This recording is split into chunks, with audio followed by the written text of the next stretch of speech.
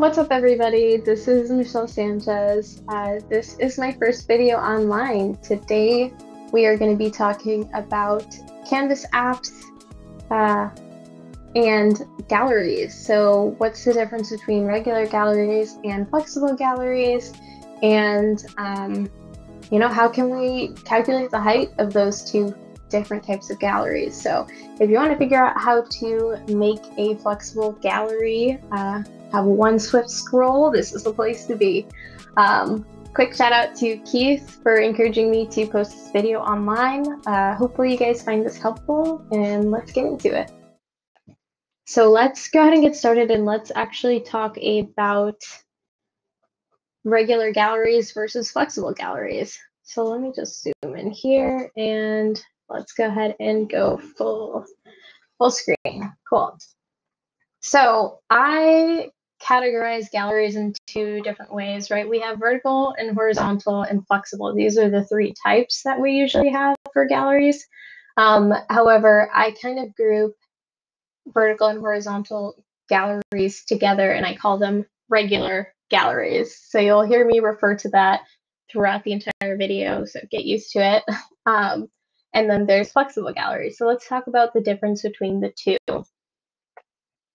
I'll just go ahead and chuck two galleries in here, right? Here's a vertical gallery.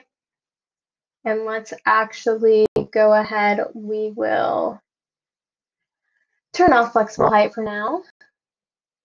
And then let's also throw a horizontal gallery. We're not going to cover it super, you know, a lot in this video, but it's just good to know the difference between the two. And let me just turn on the vertical overflow for this container. So we have the vertical galleries here. And you can see each row has a designated height. Does not matter how much text is in there, how much information is in there. Each one of these rows are exactly the same height. And the same is true for the horizontal galleries. Every row is the same height and that is determined by the template size, right? Right here, this is the default calculation. Um, that's put in here for all of all of the regular galleries. I wouldn't worry about that too much right now. That's just something good to know. And then we have flexible galleries. So let me just throw the template in there. And you'll see similar concept, right? Except if you notice, if I hold down the Alt key, let me zoom in a little bit. If I hold down the Alt key, you'll see things shift about. And that is because it is dynamically adjusting each row to have its own separate height. So not every height is going to be, let's say the default 160. You know, one height may one one of the rows might just be 50, one of the rows might be 200, so on and so forth. So that's the difference between the two galleries and something that I like to tell people because this tripped me up for a while is that is how to tell the difference between the galleries, right? Um, once you set up a gallery in your app and it looks good and everything feels good, so on and so forth, you might forget if you clicked flexible gallery or uh, one of the regular galleries, right? How I like to tell the difference is if you notice underneath the border property on the right hand pane for the flexible gallery, we have two, two properties right here, template size and template padding. And if we check over here in one of the regular galleries, we'll have three. So wrap count only exists as a property for regular galleries. It does not exist in flexible galleries. So if you ever get confused, just check out the properties pane. Trust me, it's a lifesaver. It's better than redoing your entire gallery because you just want to be sure it's flex. So let's jump into finding the total height of a regular gallery. Now, let's put a gallery in here. We're going to use vertical. I'm not too worried about horizontal. I don't use it too, too much, but for the purposes of this video, let's only talk vertical. Um, so let's add in a gallery there, and you'll see I have containers in use here. Um, I'm just going to change a few things. I want it to be centered so we can kind of see things shift around. I want to turn off flexible height because we want to calculate the total height. Um, and then the template size. So it comes with this default uh, calculation in here, but we are actually going to change it. So we know the total right now is 160. I'm just going to hard code 160 in here. This will be important later because it stops us from doing a uh, circular reference in the in the app when we're calculating that height. Um, so let's think about this. We want to get the total height of what this gallery should be based on uh, the height of every single row multiplied by the number of rows there is um, in this gallery. So let's find those values and I'll show you guys how to do that. First, let's rename this gallery. It'll just make it life a lot easier. So we'll call this uh, gal, um, we'll call this gal regular. Cool. And then let's chuck a label in our little notepad over here that I am using just for the purpose of, of kind of capturing these scrap notes in here. So let's find the height of each row. And just a hint, we kind of already touched this, this property, but uh, that would be the template size. Template size determines the height of every row, or the max height, I'll say. But let's take a look at gal regular dot template and then you'll see we have a few different options. Instead of template size, we have template height, and that's what we want. So the height of every row is going to be 160. Cool. So now we know that that height for every row. Well, I mean, I just said it. So let's find how many rows there are next. So let's just stretch that out. And then let's find out there are something something rows, right? There are, and let's use the count rows function. Uh, and we are going to run that on the gallery. And then we need to pull the property all items so that we can get the full list of that. So this will count all of the items in that gallery. So there are four. We see this on the label right over here. And just for putting that sentence together, there are four rows. A space right there. Cool. So we have two bits of data here in our notes. We have the height of each row is 160, and there are four rows. And guess what we're going to do with that? We are going to calculate what the total of that should be. So this height plus this height plus this height plus the fourth height. We want all of that good stuff. So see, the total height of the gallery should be, and we want to use that those two, the logic that we just put in there, right, for those values. Um, so we want the gal regulars dot template height multiplied by the count rows of each item in the gal regular.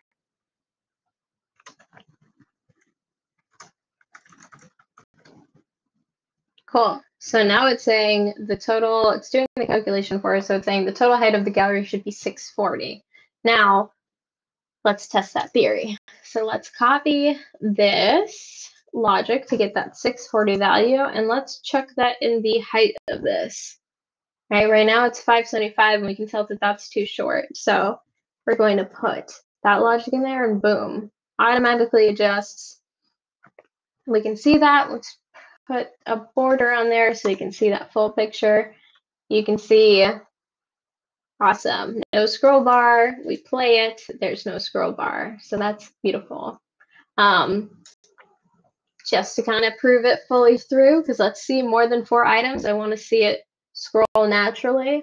Let's add a data source in here and we'll use my uh, 404 goods inventories in here, um, which is another little thing that I'm working on.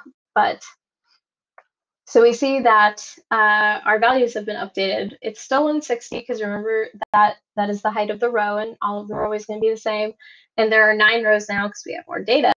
Um, and the total height has updated that calculation. We can see here, if you kind of look down here in the gray, this outline's fallen off of the uh, the canvas, and that's because it is scrollable now. So let's hit play.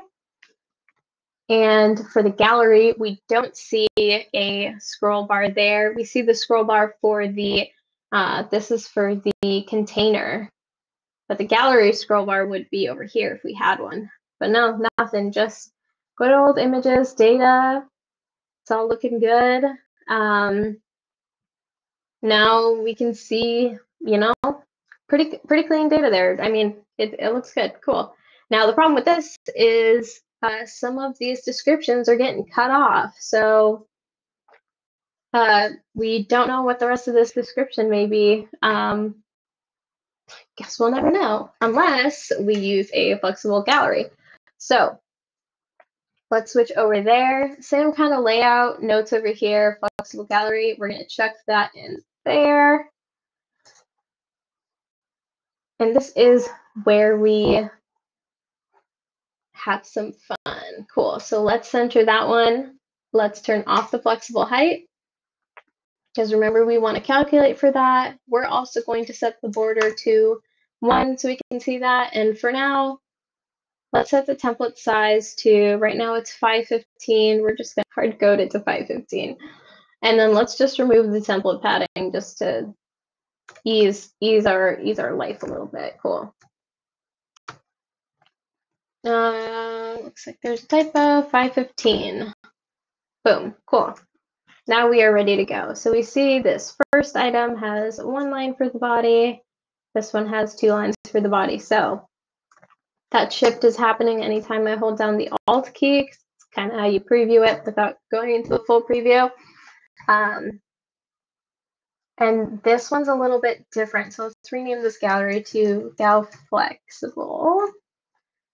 And while we're here, I'm also going to rename some of these uh, items within this, within each row. So let's do image, small image.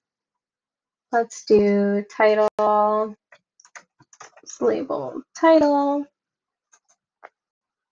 image big, image, image, and then a label body. Cool. And while we're here, I'm also going to add a border to all of these, and you'll see why in a second. Let's do the same thing we did with the last one, and let's think about what we need to do in order to get this calculation working, right?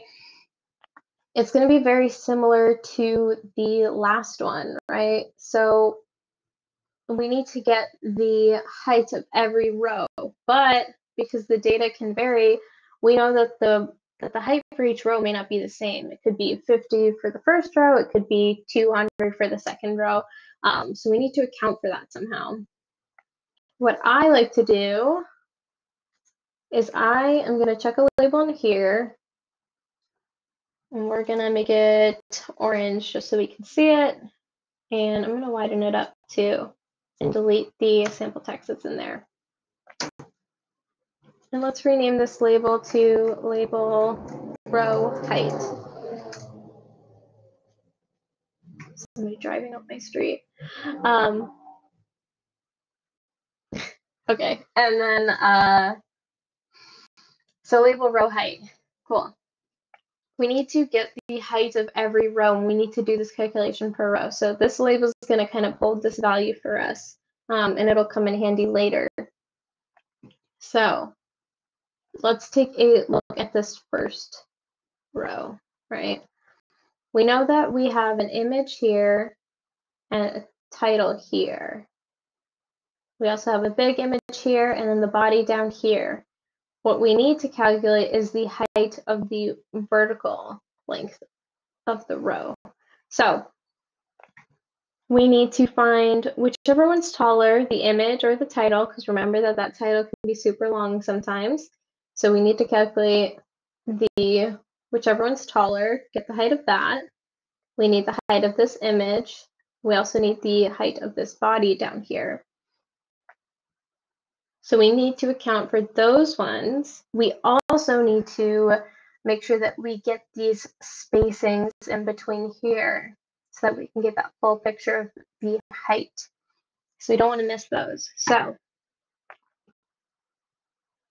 let's do this. For this label row height, let's update the text. So we are going to start off with the first spacing, which we know is the image, small image, dot y. Cool. And you'll see it's updated. There's 16 in there. Let's also put this y value of this uh, label row height to be self dot text and then we also need to convert that into a value just to make sure that's calculating. So now you'll see if I were to make the x and that zero, it's lined up with that image. And I picked the image because it has a smaller y value than the uh, title over here. But just something to think about. Uh, do 300 just so we can see. Cool. So we know that we're right here at this point. Now we need to calculate whichever one's taller. We need to add it. So let's do this. Let's start using the sum function. So right now it's 16. And then we want to get whichever one's taller, the max of the image, small image, dot height or the title dot height. Whichever one's taller, just get me that. Right now it's the image on this first line, so you see we've jumped down here, uh, and now we are lined up with this, this bottom of the image. Next, we need the spacing between this image. We need the spacing between the image or this one, whichever one's taller, and the next bit. So let's do this. For right now, I'm just going to do, well, let's think.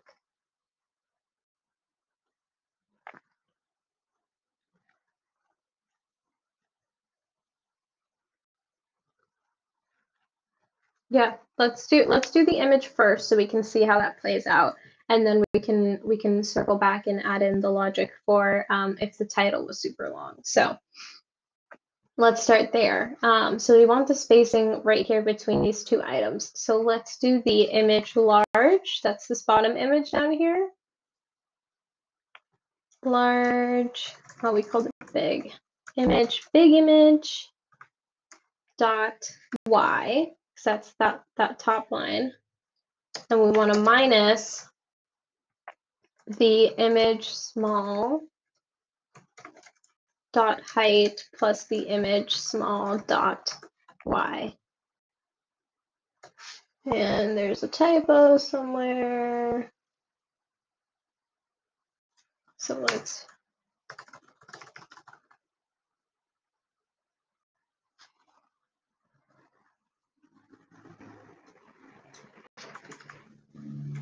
small image dot height plus image small image dot y. Cool. So that's that bottom one. Cool, right? So this second bit over here, it's it's lining us up with the bottom of this image, right? The y plus the height will be down here. And then the green one, this, lines up with this. So that's what gives us the spacing if we subtract those two from each other. That's the first one. Now let's do the same thing for the uh, for the uh, for the title, right? Um, for now, I'm just going to comment out this line, and you will see why in a second. So let's do the same exact thing, image big image dot y minus the title dot height plus the title dot y.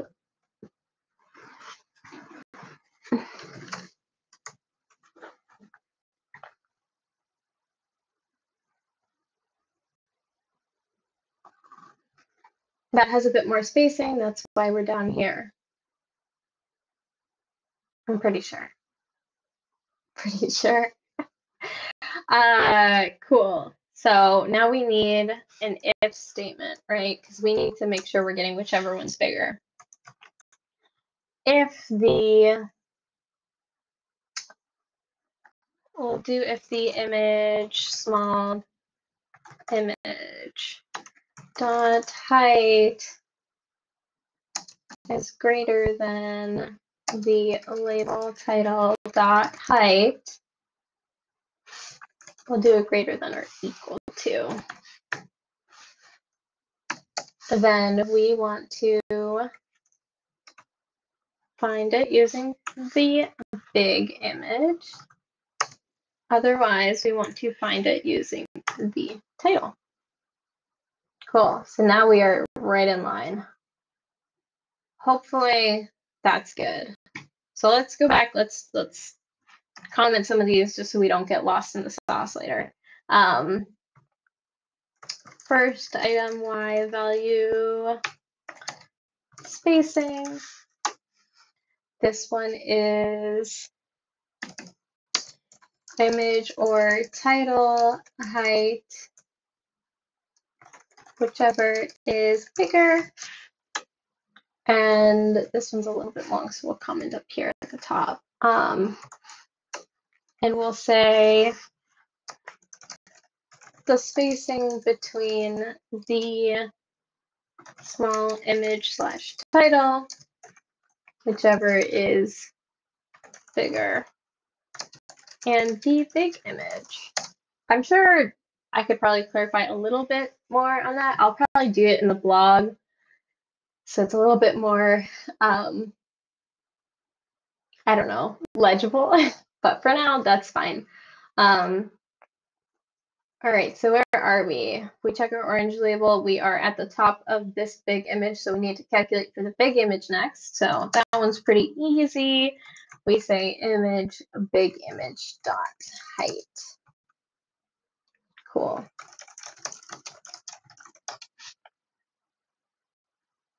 Let me check this over here. Our orange labels, beautiful, cool.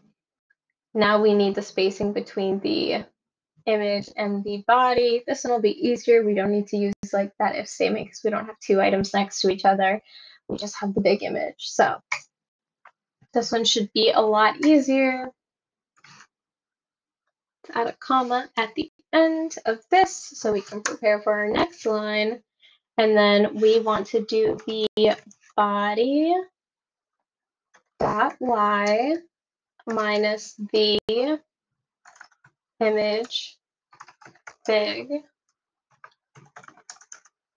dot height plus the image small image dot y. And that'll get us our spacing. Now let's in theory anyway. Nope, because I've confused this. We want image, big image here. So let's just copy that. There. Now it's looking better. Take a peek back over here, check our work. Yep, we're at the top of the body. So now we just need to calculate for the body. That's easy. Let's comment this while we're here. Um, this would be spacing between big image and body. And then let's account for that body height, body dot height. Cool. And you can see down here, right? Like we're already we're already at the bottom line of this. So we're done. That's all we need to do. I know it sounds so it doesn't seem simple when you look back at it. Um, but we're good now. The only thing that we're kind of seeing right now is that uh, since our label is set to the to that bottom of that, um, it's making our row a little bit bigger than we anticipated. So let's adjust our Y value to uh, not, you know, to line up the bottom of the bottom. Um, so we'll just minus self dot height here, right? Because we, we don't want to make the row, the row of this gallery bigger because we're using this like special row height label. Um, yeah, just just leave it there. So we can see we're lined up here. I see that we're good. We see 477 for this first row. We're going to see 500 for the second row, and then we drop back down to 477 for the third row, so on and so forth. Cool. So now we have the now we have the heights of every row. Cool. Now what do we do? Uh, we need to get the sum of all of those values, right? We need to add up that 474, the 500, and so on and so forth. We need to add all of that together. So let's put it together. And we'll use our little notepad over here so we can see our work as we go. Um, and then actually, let me take a pause right here because um, I need to Let's take a pause right here. I need to pause the recording, restart it. It's a whole thing. I'm new at this, so uh, please be forgiving if it doesn't line up perfectly. Um, give me one second. All right, cool. I think we're back now. So we were just finished. We just finished calculating the uh, height of every row in our gallery. Cool. Now we need to find a way to uh, get all those values and sum them up. Um, so I've already picked a label in here. And let's title it the total of our flexible gallery should be. And here's where we're gonna throw our calculation, just so we can see it. And I'm gonna pop that open a little bit, throw an and in there so we can do it. Um, you know, so this is where we get to use all of the values that we just calculated, right? So we need to actually loop through each row in the gallery and grab that number so that we can, you know, sum it at the end of the day. Um, so we need we need that table. So let's do a for all of the items for all of the galleries items. We want to get the label row height dot text because remember it's in that text value.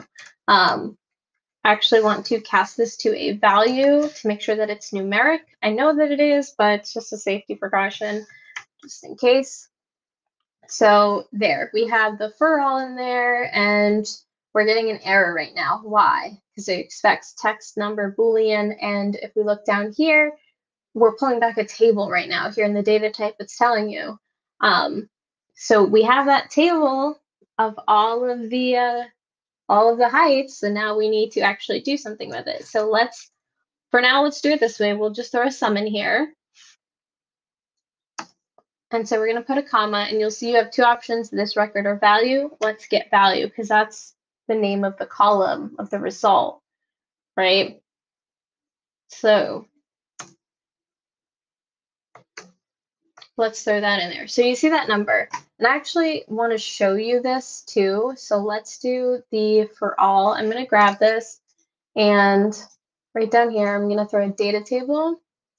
And this is a good way to tell, to kind of like take a look at uh, at things if you're not quite sure what what's going on or if you think something should be working and it's not not quite there. Um, let me just move that over here for now.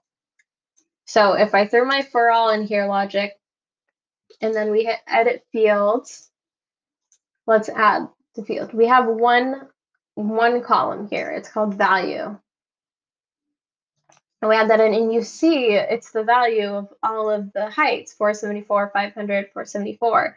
Those are what's in our labels right here. So we know that that's, that's, that's grabbing it correctly. So we have it. Um, so in theory, this number summing it should be correct in theory anyway. So let's let's test this as it is just to see how we're doing. So we're going to copy this we're going to go to our gallery. Let's go to the height. We see it's 575. We know it has a, well, it doesn't really, yeah, it has a scroll right now. Um, and let's throw that in there and boom. Same thing we saw before. If we hold down the Alt key, it'll shift. I don't see a scroll bar anywhere. I'm seeing a little bit of a shift right there, so I might have missed something, but nothing too serious. It might be because of the borders. Let's take off our borders. See, that's it. All right, throw a zero in there. Yeah, there it goes, the borders. So now if I scroll on top of the gallery, we're not seeing like a mini shift or anything. We're seeing just the regular scroll that we would see anywhere else. Cool. Let's play it just to make sure. It for a second, but look, I'm scrolling right now on top of this gallery and it's just catching this. So we got that height mapped out. It's looking good. Um, something else. That's how you calculate flexible gallery. Now, there's some modifications that I actually make to it to make it a little bit more legible and also um, to account for uh, template padding. So that's one thing that's not in here right now is right now the template padding to this gallery is zero. Um, but for whatever reason, you might have like design specifications or whatever that wants your template padding to be like five, we'll say, right? And that's going to shift it. And now we have that scroll because we're not accounting for that in our calculations at all.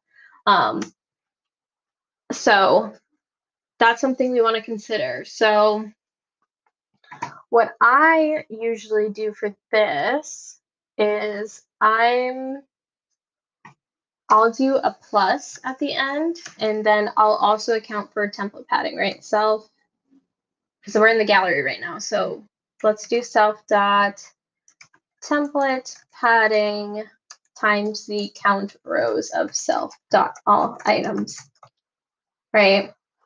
And that will account for the padding on all of it. So this will this will add in that that padding.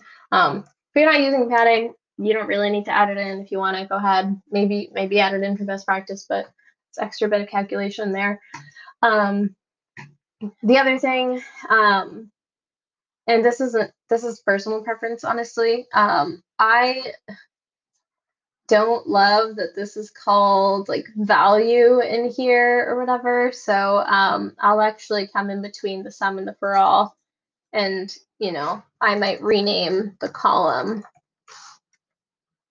um, and we'll come back over here. I will actually rename the value column to row height. So I'll do rename the value column to row height and then close that off and then do a comma. And then instead of value here, since I just renamed it, it'll be row height. Um, should be, let's see where we where we mucked this up.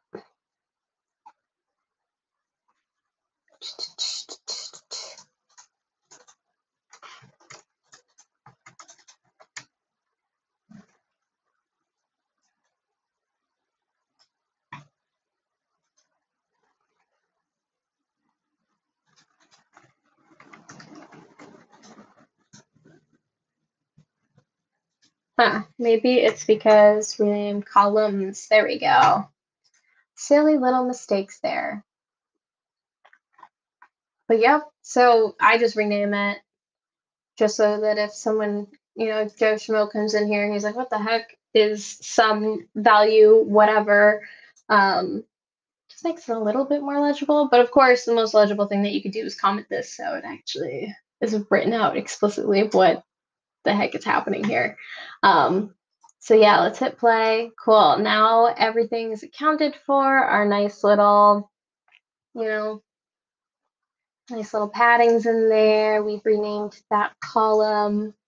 You know, we can see the values here. And, you know, just for same thing we did with the last one, let's switch out this data source so we have a little something extra look at. We see a lot more rows over here in this table. Um, don't mind the pictures that I pulled from online. They're not the best quality, but it is what it is. We do what we can for data. Um, yeah, so you see them all going on and you can see the same thing. Let's actually hide that, that uh, row label now. We don't really need to see it.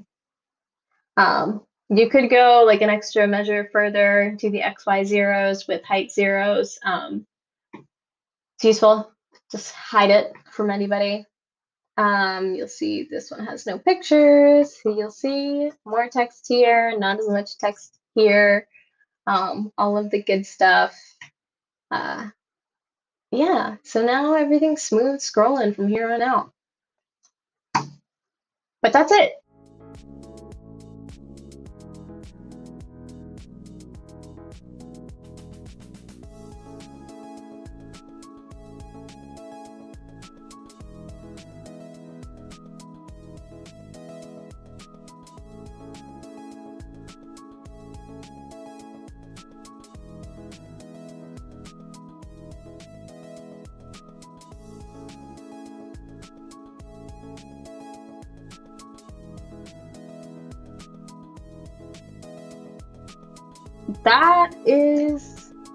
All you have to do for flexible height galleries to calculate that that total height of what it should be. Um, I hope this was helpful and hopefully you can use it in some of the apps that you're making. Um, I know it's made a huge difference for me if I'm ever trying to kind of stack things around each other. Um, getting that height makes it makes it way more cleaner. Um, so yeah, uh, I hope you guys like this video. Let me know if there's something else that you guys want to see. Um, I'm gonna start posting a lot more frequently and writing blogs, so you'll see the full write up there if you're a reader, not a not a watcher. Um, follow me on Twitter. It's the loading point. All of my social media is the loading point. Um, yeah, and you know, double shout out to Keith for for encouraging me to post this online. Um, yeah, cool. Well, all right. I think that's all I have to share for today. So I am gonna hang up now. I'll talk to you guys later. all right, bye.